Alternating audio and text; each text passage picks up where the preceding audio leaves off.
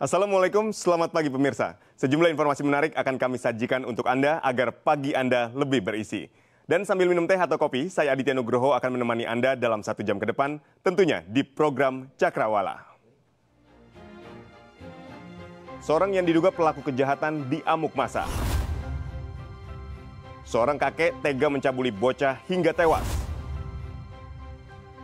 Pengurus masjid membunuh seorang warga negara asing.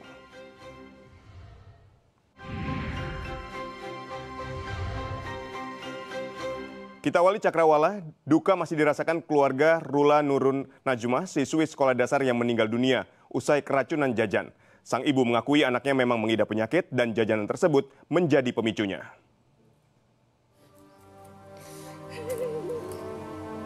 Duka dirasakan keluarga Rula Nurun Nazmah, siswi sekolah dasar di desa Saguling, kecamatan Saguling, yang meninggal dunia usai keracunan camilan bermerek Cimin. Sang ibu Komariah mengatakan keluhan sakit dan muntah-muntah ini baru dirasakan Rabu pagi setelah satu hari sebelumnya Rula jajan Cimin. Ia pun langsung membawa anaknya ke bidan, kemudian dirujuk ke IGD Rumah Sakit Dustira. Kondisi korban drop dalam semalam sampai tak sadarkan diri dan kemudian meninggal dunia. Komariah mengaku anak semata wayangnya itu memang mengidap talasemia dan harus transfusi darah, namun saat itu kondisinya sehat. Kata si dede, mama dede mah kemarin jajan cimin, katanya gitu. Saya nggak tahu ya cimin itu seperti apa gitu, cuman ya kata saya teh kenapa tuh jajan yang kayak gituan gitu, yang yang baru-baru gitu terus udah gitu teh semenjak ditindak di ruang IGD udah nggak nyadar diri dari umur 4 bulan ya mengidap talasemia hmm. jadi bukan cuci darah dia tuh harus transfusi darah Transfusi gitu darah. ya. Cuman ya kalau misalnya dari penyakit itu mah dia lagi sehat Hmm. HB-nya juga lagi bagus gitu cuman ya mungkin karena ya apa sih kondisinya kayak gitu terus dia kena racun mungkin ya Heeh. jadi langsung drop aja Keluarga tak kuasa menahan rasa kesedihan. Mereka tak menyangka Rula meninggal dunia untuk selamanya.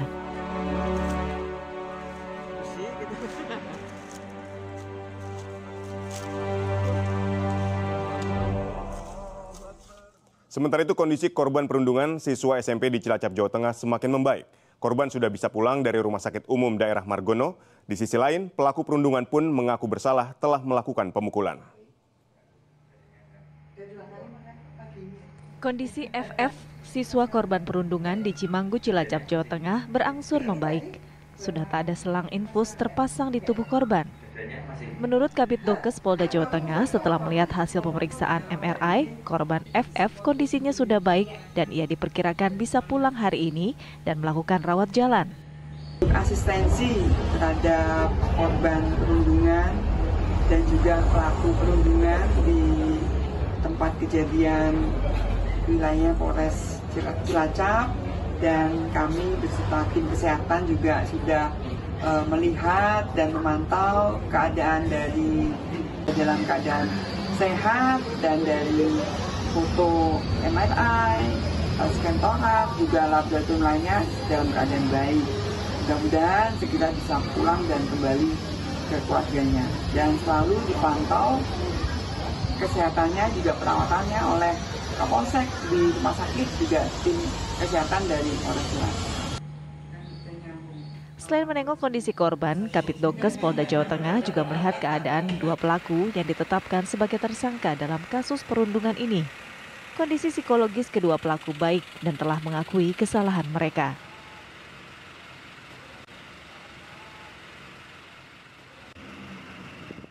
Kasus penganiayaan sadis yang menimpa seorang siswa SMP di Cilacap, Jawa Tengah menjadi sorotan hangat publik setelah rekaman amatir aksi penganiayaan sesama siswa tersebut viral di media sosial. Perilaku yang sadis sontak membuat geram warga, sehingga saat ditangkap polisi, pelaku pun nyaris menjadi sasaran empuk emosi warga.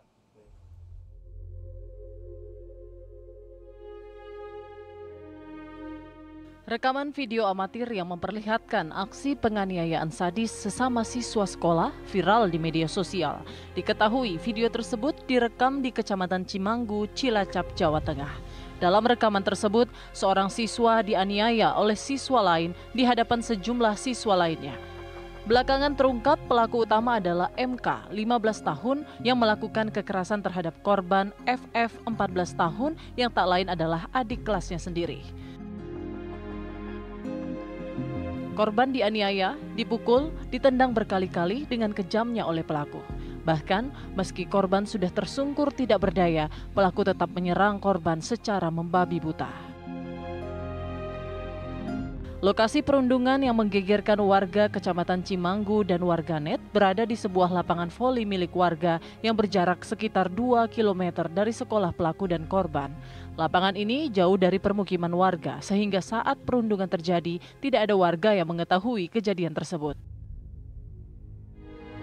Pada Selasa malam 26 September 2023, pelaku diamankan polisi dari kediamannya untuk dibawa ke Mapolresta Cilacap untuk penyelidikan lebih lanjut.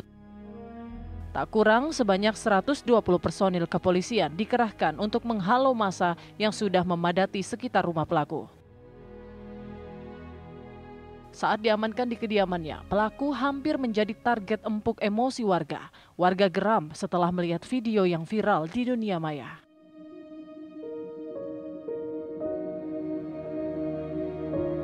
Rabu 27 September 2023, korban FF didampingi keluarganya mendatangi kantor Polsek Cimanggu untuk menjalani pemeriksaan terkait video perundungan yang tersebar luas. Akibat perundungan yang dialami, korban FF mengalami sejumlah luka lebam di bagian kepala, wajah, dan punggung. Tidak hanya itu, korban juga mengalami luka di bagian perut bekas tendangan pelaku. Pihak keluarga korban pun berharap pelaku mendapat hukuman seberat-beratnya karena perbuatan keji yang dilakukannya. Untuk sekelas anak SMP, anak sekolah itu kan udah sangat brutal ya Pak. Jadi saya minta keadilannya aja. Minta kalau misalkan ada undang-undangnya, saya minta untuk dipenjarain aja kalau bisa. Menurut keterangan polisi, pemicu terjadinya perundungan bermula dari persoalan sepele. Pelaku tidak terima lantaran korban FF mengaku sebagai anggota kelompok barisan siswa yang dipimpin oleh pelaku. Pernyataan korban tersebut membuat pelaku tersinggung dan melakukan perundungan. Permasalahannya ini saling eh, ada salah satu siswa yang tidak menjadi bagian kelompok tersebut eh, mengaku yang bersangkutan sebagai anggota kelompok tersebut sehingga yang kita amankan ini adalah ketuanya sekaligus dia operator. Terkait perundungan yang terjadi, Polresta Cilacap telah mengamankan lima siswa SMP Negeri 2 Cimanggu. Dua di antaranya merupakan terduga pelaku dan tiga lainnya sebagai saksi diperiksa dengan didampingi keluarga masing-masing. Polisi memastikan akan memproses hukum pelaku perundungan siswa SMP sesuai dengan sistem peradilan anak dikarenakan pelaku masih di bawah umur. Pemirsa akibat kejadian ini, anggota Polresta Cilacap Jawa Tengah sampai menjenguk korban perundungan yang dirawat di Rumah Sakit Umum Daerah Margono. Korban dirujuk akibat adanya tulang rusuk kelima yang patah serta abses urat syaraf leher. Beginilah kondisi korban perundungan yang berinisial FF, warga Cimanggu, Cilacap, Jawa Tengah yang tengah dirawat di Rumah Sakit Umum Daerah Margono. Korban mendapatkan trauma healing dari anggota kepolisian. Kondisi korban saat ini cukup baik. Hal ini terlihat dari komunikasi antara petugas kepolisian dengan korban. Apabila hasil dari observasi hasilnya stabil dan tidak ada sakit lagi, korban bisa berobat rawat jalan. Menurut hasil pemeriksaan tim medis, korban mengalami luka dalam. Korban alami patah tulang rusuk kelima dan abses urat syaraf leher. Sementara itu sebagai bentuk empati, anggota Polresta Cilacap, Jawa Tengah mengumpulkan donasi untuk korban. Polri akan membantu pembiayaan pengobatan korban perundungan selama di rumah sakit. Hari ini nanti ada kotak sedekah ya, bantu korban memang karena korban bullying ini juga tidak terlalu mampu. Ya. Polri punya uh, empati ya, untuk saudara-saudara kita untuk membantu. Itu saja. Bebas, terserah. Yang penting ikhlas. Insya Allah korban pun sehat. Amin. Terima kasih. Pasca perundungan yang terjadi, pihak kepolisian akan melakukan sosialisasi atau bimbingan terhadap guru-guru agar kejadian perundungan tidak terulang kembali.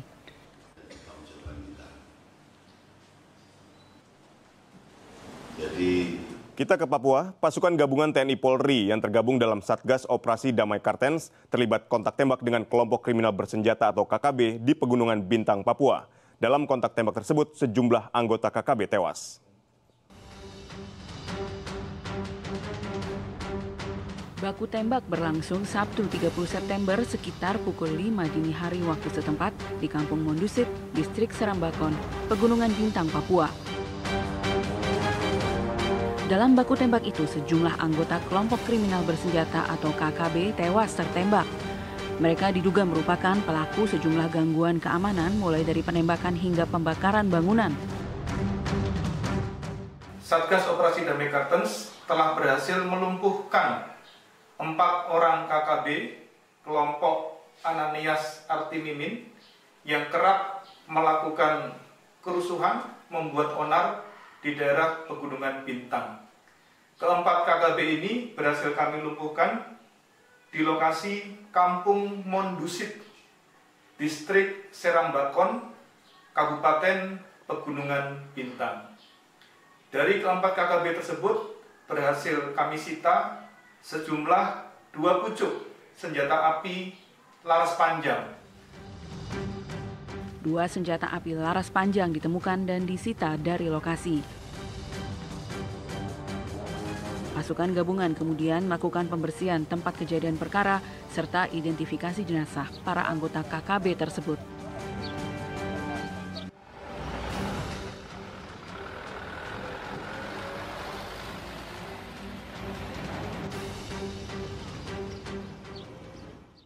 Pemirsa kelompok kriminal bersenjata diketahui sering melakukan penyerangan dan penembakan hingga pembakaran gedung sekolah di Kabupaten Pegunungan Papua. Saat ini situasi Kamtipnas di sekitar lokasi tersebut berangsur normal.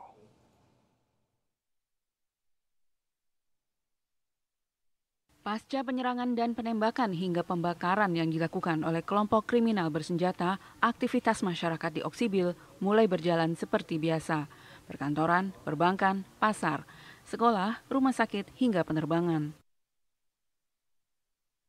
Kepala Operasi Damai Kartens 2023 Kombes Pol Faizal Ramadhani mengatakan situasi Kamtipnas berangsur normal. Sekarang situasi sudah kembali normal setelah beberapa saat waktu yang lalu ada gangguan dari kelompok kriminal bersenjata atas nama Ananias Natimimin di mana eh, satu orang dari anggota BRIMOB Damai Karten gugur Kan tapi setelah beberapa hari ini situasi sudah kembali normal. Distrik Serambakon dan Distrik Oksibil sering kali menjadi lokasi gangguan keamanan oleh kelompok kriminal bersenjata.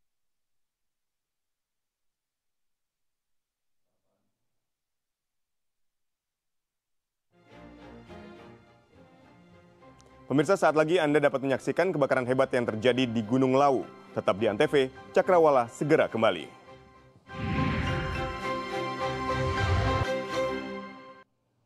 Terima kasih Anda masih menyaksikan Cakrawala. Pemirsa enam kendaraan terlibat kecelakaan beruntun di tol Ungaran Banyumanik jalur B arah kota Semarang, Jawa Tengah. Lima orang dikabarkan mengalami luka-luka akibat kecelakaan tersebut. Kecelakaan beruntun ini terjadi di kilometer 422 plus 500 Jalan Tol Ungaran Banyumanik jalur B arah kota Semarang. Enam kendaraan tersebut terdiri dari tiga mobil pribadi, satu truk, satu mobil travel, dan satu bus. Dalam video yang direkam warga terlihat sejumlah kendaraan pribadi mengalami kerusakan berat akibat saling seruduk. Bahkan ada kendaraan yang saling tumpuk satu sama lainnya. Polisi dan petugas Transmarga Jawa Tengah berupaya mengevakuasi kendaraan yang terlibat dalam kecelakaan. Tidak ada korban jiwa dalam peristiwa kecelakaan ini. Dikabarkan lima orang mengalami luka-luka dan dibawa ke rumah sakit terdekat. Akibat peristiwa ini, arus lalu lintas arah Ungaran menuju Semarang sempat mengalami kemacetan panjang. Kilometer 422500 Bandung, jalur dari Ungaran ke Banyumani. Terjadi kejadian pada hari ini, hari Sabtu, tanggal 30 September 2023 pukul 11.30 WIB kami laporkan jam 12.30 ini baru selesai evakuasi eh, 6 kendaraan uh, di kejadian jalur ini melibatkan kendaraan Vir, uh, Servi, Mazda, bis, Tronton, dan Helm dan lainnya. Alhamdulillah tidak ada korban jiwa. Ya, tidak ada korban jiwa. Pemirsa kebakaran kembali terjadi, kali ini di hutan lindung di Gunung Lawu yang semakin meluas. Bahkan saat ini api belum dapat teratasi dan melebar ke area hutan produksi berupa tanaman pinus di BKPH Lawu Utara berbatasan dengan wilayah hutan Magetan. Kebakaran hutan lindung di area petak 39 RPH Manyo BKPH Lawu Utara di Desa Girimulyo Kabupaten Ngawi hingga Sabtu pagi belum teratasi. Bahkan kebakaran terus meluas hingga 50 hektar. Kebakaran pun saat ini telah memasuki hutan produksi berupa tanaman pinus di area petang 41 yang berbatasan langsung dengan hutan lindung wilayah Lawu Selatan di Kecamatan Panakan, Kabupaten Magetan. Guna mengantisipasi api masuk wilayah hutan Gunung Lawu di Magetan, BPBD Kabupaten Magetan telah mengerahkan puluhan personel gabungan membuat ilaran di hutan. Informasi terbaru yang kami peroleh itu sudah sangat dekat mas. Uh, terakhir sudah memasuki di petak 41. Jadi itu sudah sudah dekat, tinggal berbatasan dengan uh, sungai, aliran sungai. Uh, itu sungai kering dan kemungkinan kemungkinan besar Eh, bisa mencapai Magetan. Jika kebakaran di Gunung Lawu sudah masuk ke wilayah Magetan yang berdekatan dengan jalur pendakian puncak Gunung Lawu, maka status kebencanaan akan dinaikkan menjadi tanggap darurat.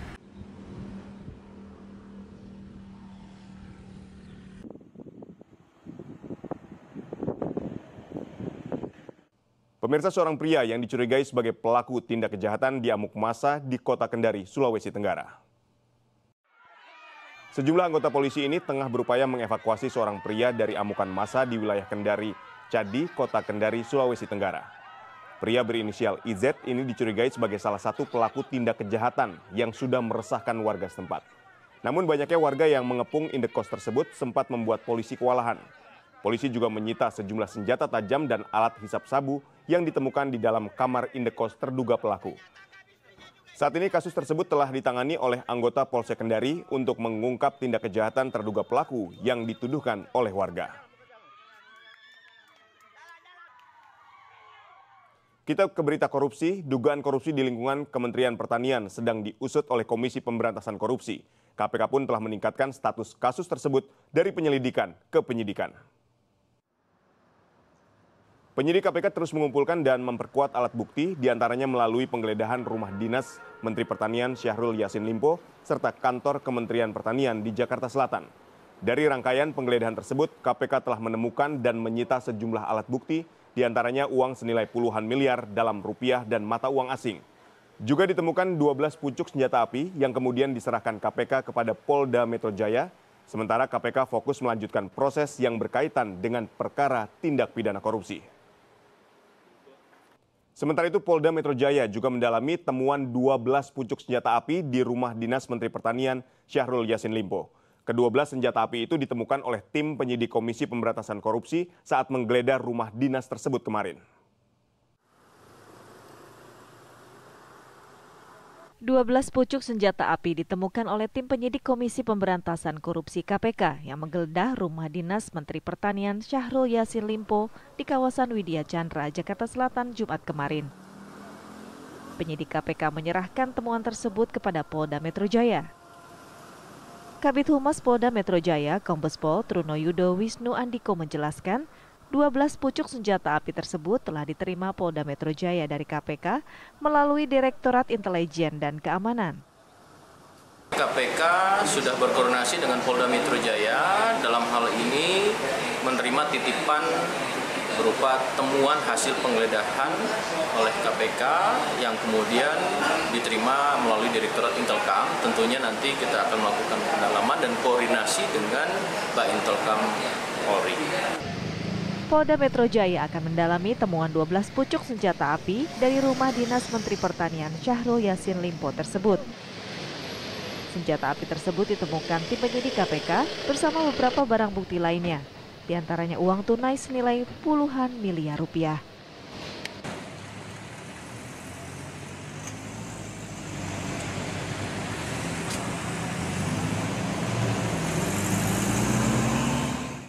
Selain menggeledah rumah dinas, KPK juga menggeledah kantor Kementerian Pertanian untuk mengusut kasus dugaan korupsi di lingkungan Kementan. Kasus ini telah ditingkatkan dari penyelidikan ke penyidikan, tapi siapa yang menjadi tersangka belum diumumkan oleh KPK. Komisi Pemberantasan Korupsi menggeledah rumah dinas Menteri Pertanian Syahrul Yassin Limpo di kawasan Widya Chandra, Jakarta Selatan. Setelah itu, KPK menggeledah kantor Kementerian Pertanian di Jakarta Selatan. Di sini ruangan yang digeledah adalah ruangan Menteri Pertanian Syahrul Yassin Limpo dan Sekjen Kementan Kasdi Subagiono di Gedung A. KPK telah meningkatkan kasus ini dari penyelidikan ke penyidikan. Ini berarti tersangka telah ditetapkan. Namun pengumuman identitas tersangka masih menunggu sampai proses penyidikan cukup.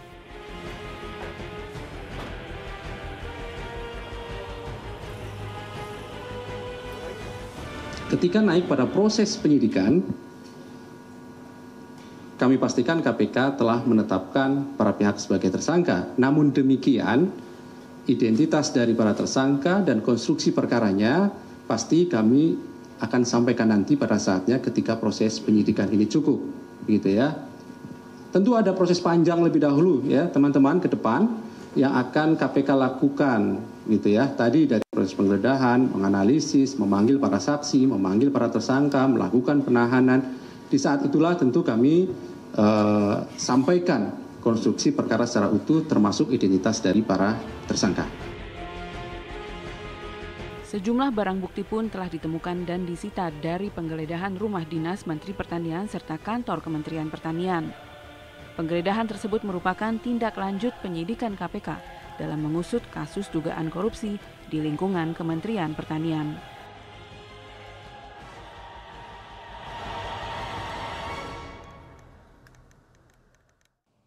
Kita beralih ke berita lainnya. Satu unit mobil jenis sedan ludes terbakar di Jalan Tol Jor, Pasar Minggu, Jakarta Selatan. Diduga kebakaran akibat korsleting pada bagian mesin, mobil jenis sedan dengan nomor polisi B1729 KOW ludes terbakar di Jalan Torjor, kilometer 26500 arah Pasar Minggu, Jakarta Selatan. Besarnya kobaran api membuat mobil tersebut hanya tersisa kerangka. Menurut petugas, mobil yang melaju dari arah Lebak Bulus menuju Pasar Minggu mengalami percikan api pada bagian mesin sehingga pengemudi memberhentikan kendaraannya di bahu jalan. Pengemudi sempat memadamkan api dengan air seadanya, namun kobaran api tetap membesar.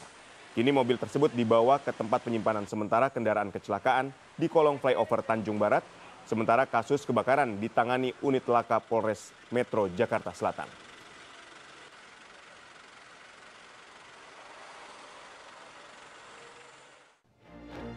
Seorang remaja di Lampung mencuri voucher handphone. Beritanya dapat kita simak setelah pesan-pesan berikut ini tetap di ANTV.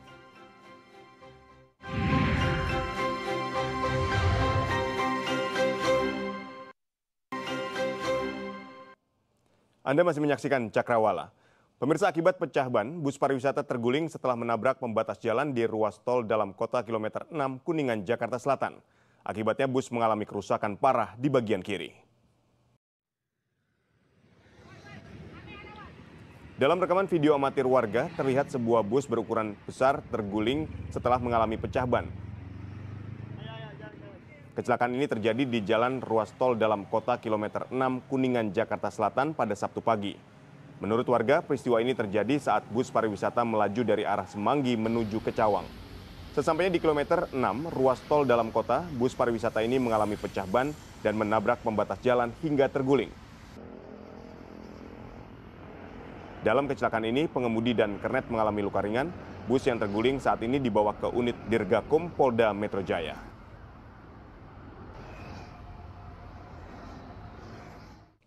Kita ke Depok, seorang anak di Depok, Jawa Barat tewas diduga setelah dilecehkan secara seksual oleh seorang kakek. Polisi menangkap lelaki berusia 70 tahun itu dan dia kini berstatus tersangka.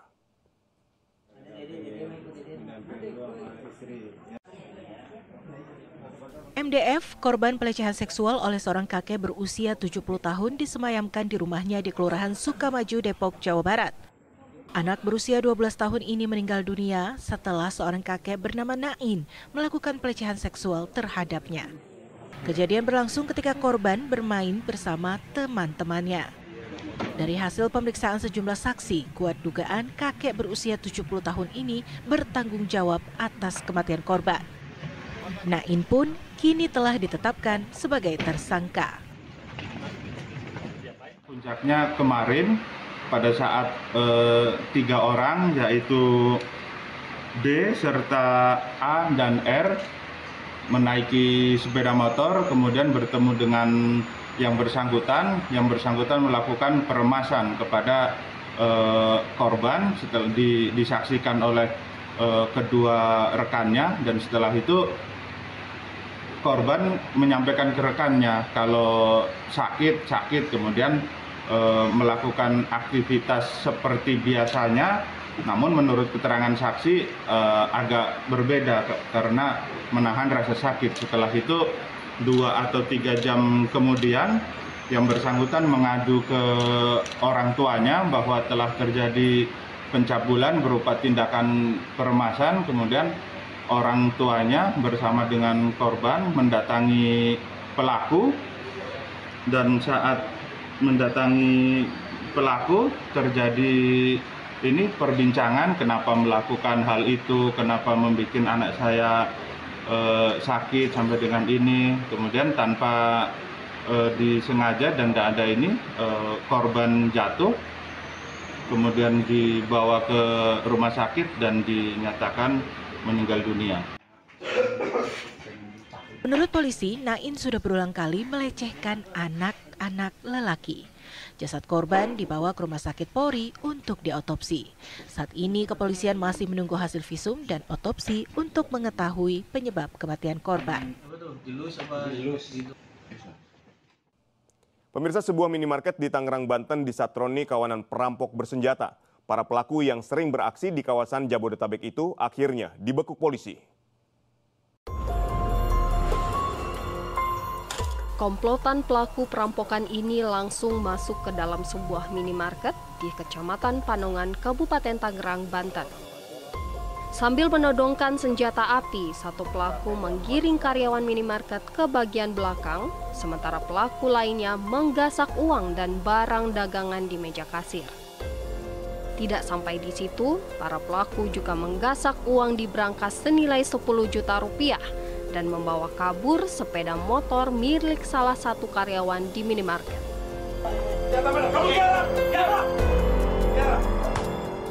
Berbekal rekaman CCTV, polisi menangkap tujuh pelaku perampokan di Jakarta Timur dan Bogor. Empat dari tujuh pelaku terpaksa dilumpuhkan lantaran melakukan perlawanan saat akan ditangkap. Dari hasil pemeriksaan, para pelaku perampokan ini sudah melakukan aksinya di 18 minimarket di wilayah Jabodetabek. Dalam aksinya, para pelaku yang menggunakan senjata api dan senjata tajam menyasar minimarket yang sepi. Mereka pun tidak segan melukai korban jika melakukan perlawanan. Dari keterangan dan barang bukti serta saksi yang sudah kami mintai keterangan dari sembilan tersangka dua kita tetapkan DPO telah melakukan kejahatan yang sama di 18 TKP.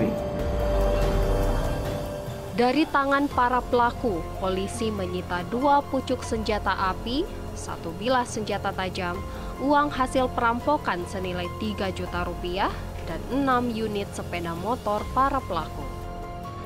Polisi saat ini masih memburu dua pelaku lainnya yang buron. Seorang tahanan kasus kepemilikan senjata tajam ditemukan tewas gantung diri di kamar mandi di Polsek Kabawo, Kabupaten Muna, Sulawesi Tenggara. Setelah diturunkan, jasad Dirman yang baru dua hari mendekam di tahanan Polsek Kabawo dibawa ke puskesmas terdekat untuk mengetahui penyebab pasti korban meninggal. Dari hasil penyelidikan dan visum, tidak ditemukan adanya tindak penganiayaan dan luka di bagian tubuh korban. Jenazah korban selanjutnya dibawa ke rumah duka yang berlokasi di desa Kawitewite untuk segera dikebumikan. Sementara itu pihak keluarga juga menolak untuk dilakukan otopsi. Seorang pengurus masjid di Tanjung Pinang, Kepulauan Riau melakukan pembunuhan terhadap seorang warga negara asing asal Singapura. Kasus pembunuhan tersebut dilakukan di Batam saat pelaku menjadi buron dalam kasus penggelapan uang kurban jemaah masjid. Rai Sigit pria berusia 37 tahun ini sebelumnya telah ditetapkan sebagai tersangka oleh Satreskrim Polresta Tanjung Pinang dalam kasus penggelapan uang kurban jemaah masjid senilai 51 juta rupiah. Sigit yang saat ini masih mendekam di sel tahanan Polresta Tanjung Pinang kembali menjadi tersangka setelah perbuatan sadisnya membunuh seorang warga negara asing asal Singapura. Berdasarkan hasil pengungkapan, Sigit mengaku membunuh WA warga negara Singapura yang juga merupakan temannya dengan tujuan menguasai harta korban. Aksi pembunuhan tersebut dilakukan Sigit pada 16 September 2023 lalu di Batam dengan cara menjerat leher korban di dalam mobil, kemudian membuang jasadnya ke laut.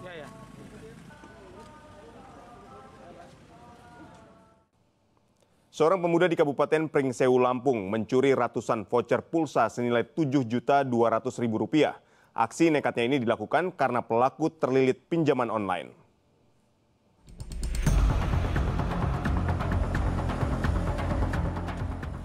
Seorang pemuda merusak ventilasi kantor voucher salah satu provider. Setelah membobol, pelaku kemudian mencuri dan membawa kabur voucher senilai Rp7.200.000 ke kios pulsa tempat pacarnya bekerja. Polsek Prinsewu Kota pun menangkap Hendra Ardiansyah, pemuda berusia 23 tahun lantaran telah melakukan pencurian di Kelurahan Prinsewu Barat, Kabupaten Prinsewu, Lampung. Tersangka tak berkutik saat petugas kepolisian mendatangi rumah kediaman pelaku di Pekonwates Timur, Kecamatan Gading Rejo, Kabupaten Pringsewu. Tersangka nekat mencuri ratusan voucher internet dari kantor salah satu provider ini lantaran terlilit utang pinjaman online. Begitu kosong jam 5 sore, saya keluar dan masuk lewat ventilasi pintu gudang voucher, Pak. Hmm, Udah, Pak. Saya melakukan itu sendiri. Saya keluar lewat belakang. Itu berapa barang yang kamu ambil? Sekitaran 200 pieces, Pak. 200 pieces. Itu uang, uh, barang itu kamu jual ke mana aja? Ke counter-counter, Pak. Counter-counter. Hasilnya berapa? Baru dapat satu jutaan, Pak. Itu hasil uangnya buat apa sih sama kamu? Niatnya mau buat bayar utang, Pak, semuanya, Pak. Saat dilakukan penangkapan, tersangka menyimpan ratusan voucher itu dalam tas di tempat kerja pacarnya. Tempo 3 jam berhasil mengamankan pelaku beserta barang bukti di kediamannya di Pekon Wates Timur, Kecamatan Gading Rejo. Adapun modus operandi yang dia lakukan dengan cara mencongkel pintu depan dan kemudian menguras sebagian voucher internet di kantor tersebut dan pelaku sendiri merupakan karyawan perusahaan tersebut. Pelaku akan dijerat dengan pasal 363 KUHP tentang pencurian dengan ancaman hukuman 7 tahun penjara.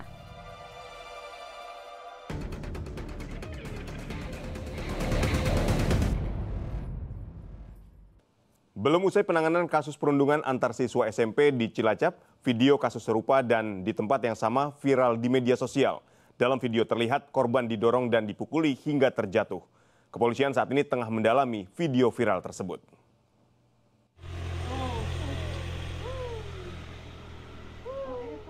Setelah viralnya video perundungan yang dilakukan oleh siswa di Cimanggu, Cilacap, Jawa Tengah, kini kembali muncul video serupa yang terjadi di tempat yang sama, yaitu di lapangan bola voli yang berada di desa Negara Jati. Dalam video yang beredar di media sosial, terlihat satu anak sekolah yang menggunakan seragam berwarna putih biru tengah dipukul oleh teman lainnya. Pihak kepolisian Resort Kota Cilacap membenarkan kejadian tersebut terjadi di tempat yang sama. Untuk korban dan pelaku yang ada dalam video yang beredar ini berbeda dengan video viral yang pertama. Pihak kepolisian kini masih mendalami video perundungan yang beredar. Jadi terkait video perundungan yang uh, menggunakan uh, seragam OSIS itu hmm. memang betul itu di uh, TKP yang sama hmm. dan saat ini kami uh, sudah memprosesnya kita sudah um, mendalami melakukan pemeriksaan kepada beberapa anak yang ada di situ. Eh, pelaku anak nanti kita lihat dari hasil karena kita masih uh, mencoba mendalami dulu nanti di situ peran-perannya juga apa aja gitu. Uh, korban berbeda ya korban berbeda dengan video viral yang, yang satunya lagi beda. Pelaku? Untuk pelaku kita masih uh, dalami dulu untuk kita uh, pilahkan lagi. Kita tunggu hasil gelarnya Satreskrim Polresta Cilacap sudah melakukan pemeriksaan terhadap siswa yang berada di dalam video tersebut. Korban yang ada dalam video perundungan kedua pun telah melaporkan kejadian ini ke pihak kepolisian.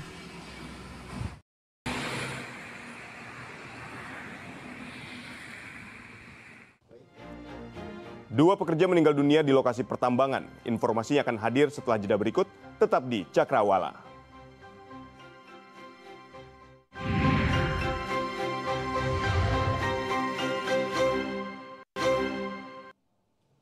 Terima kasih Anda masih menyaksikan Cakrawala. Pemirsa lokasi pertambangan batu padas di Desa Marjanji, Aceh, Kabupaten Asahan, Sumatera Utara longsor.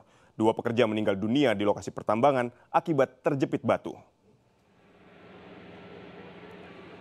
Beginilah suasana saat terjadinya longsor di penambangan galian C Batu Padas di Desa Marjanji Aceh, Asahan, Sumatera Utara yang mengakibatkan dua orang meninggal dunia di lokasi kejadian.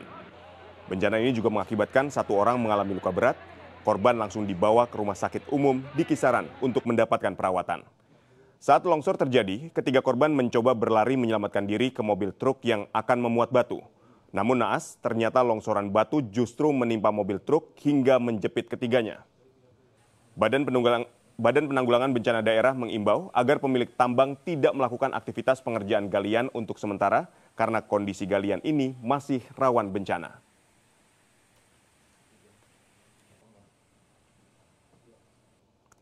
IDFS 2023 digelar meriah dengan banyak seminar menarik. Salah satu tema seminar pada IDFS 2023 yaitu Sustainability yang menghadirkan pembicara yang mumpuni di bidangnya.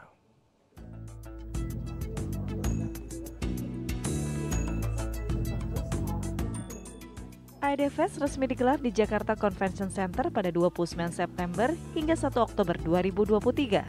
Festival berbagi pengalaman dan ide kreatif ini memiliki tema Lead the Leap Tema ini berhubungan dengan industri kreatif di Indonesia yang semakin berkembang berkat teknologi. Salah satu topiknya yakni sustainability, pendidikan, semangat meraih mimpi demi kemajuan Indonesia di masa mendatang. Anindya Bakri sebagai salah satu pembicara juga membahas isu pentingnya pendidikan bagi sustainability dan kemajuan bangsa. Pendidikan sangat krusial untuk menunjang potensi yang telah ada menuju Indonesia Emas 2045. Jadi Indonesia ini bisa maju misalnya dari 4.000 dolar per kapita menjadi 25.000 dalam 23 tahun ini dengan mengutamakan ya tadi semua. Jadi bukan hanya makmur, tapi makmur yang bersama-sama atau inklusif. Bukan hanya itu pula, tapi juga berkelanjutan. Dan dengan ini semua membuat kita menjadi lebih resilient. Resilient dari sisi ketahanan pangan, ketahanan energi, dan lain-lain. Inilah yang tadi kita bicarakan sampai kepada pendidikan. Bagaimana pendidikan harus juga disesuaikan untuk menghargai nilai-nilai ini. IDFS akan diramaikan lebih dari 280 pembicara yang terlibat dalam acara yang sudah memasuki tahun ke-12.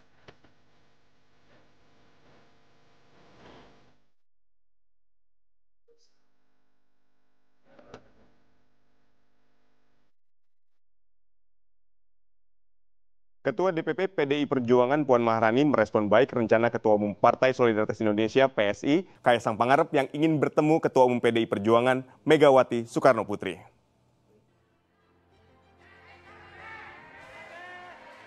Ketua DPP PDI Perjuangan Puan Maharani merespons baik rencana Ketua Umum Partai Solidaritas Indonesia PSI Kaisang Pangarep yang ingin bertemu Ketua Umum PDI Perjuangan Megawati Soekarno Putri. Puan juga mengajak Kaisang untuk bertemu dengan dirinya sebelum mengunjungi kediaman Megawati. Ayo Mas Kaisang ketemu Mbak Puan dulu. Ayo kapan mau ketemu Mbak Puan? Yuk. Nih udah ditunggu nih sama Mbak Puan Mas Kaisang. Puan juga berharap PSI yang belum menentukan arah dukungannya di Pilpres 2024 untuk bergabung bersama koalisi PDI Perjuangan yang sudah mendeklarasikan Ganjar Pranowo sebagai bakal calon presiden. Meski begitu, Puan meyakini PSI pasti memiliki pertimbangan-pertimbangan sebelum mengambil keputusan politik. Kami berharap semuanya itu memang bisa bergabung dengan PDI Perjuangan, tapi kan semua juga punya pertimbangan tertentu. Jadi ya nanti kalau saya bilang nggak mau ngajak Mas Kaisang, dibilangnya PDI Perjuangan nggak mau ngajak. Sekarang kita ngajak, ditanya lagi. Ini kayak salah terus ya. Yang ditawarkan ke Mas Kaisang kira apa? Ini bukan politik jual beli, ini bagaimana menyamakan visi dan misi untuk membangun bangsa dan negara. Oke? Okay? Sebelumnya Kaisang memastikan PSI akan menjadi partai yang terbuka untuk semua partai. Kaisang dan pengurus PSI lainnya akan soan dengan seluruh ketua umum partai politik di Indonesia, termasuk Ketua Umum Partai Gerindra Prabowo Subianto dan juga Ketua Umum PDI Perjuangan Megawati Soekarno Putri.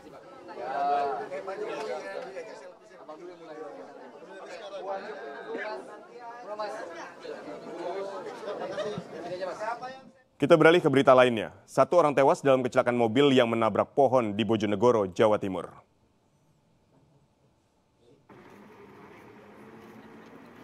Kecelakaan tunggal ini terjadi di Jalan Raya Dander Bubulan, tepatnya di Desa Dander, Kecamatan Dander, Kabupaten Bojonegoro. Kanit Gakum Satlantas Polres Bojonegoro, Ibda Ahmad Adi Kiswanto mengatakan Mobil yang mengalami kecelakaan melaju dengan kecepatan tinggi dan sesampainya di TKP, mobil tiba-tiba oleng ke kiri, kemudian masuk ke hutan dan menabrak pohon. Dugaan sementara penyebab kecelakaan tunggal ini, mobil mengalami pecah ban, akibatnya satu orang pengemudi meninggal dunia di lokasi kejadian. Evakuasi berjalan cukup lama sebab korban dalam kondisi terjepit bodi kendaraan. Sementara kendaraan yang terlibat kecelakaan diamankan petugas Satlantas Polres Bojonegoro.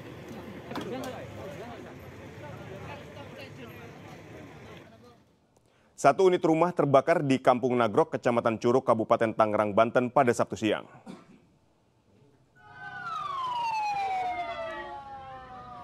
Asap tebal terus semakin membesar membakar rumah hingga membuat sejumlah warga yang berdekatan dengan rumah yang terbakar panik dan menyelamatkan barang karena takut api merambat ke bangunan lain. BPBD Kabupaten Tangerang mengerahkan dua unit mobil pemadam kebakaran untuk memadamkan api. Peristiwa ini diduga Api berasal dari korsleting kabel sebuah akuarium hingga api menjalar ke sebuah kasur dan terus berkobar akibat tiupan angin yang kencang. Tidak ada korban jiwa dalam peristiwa kebakaran ini.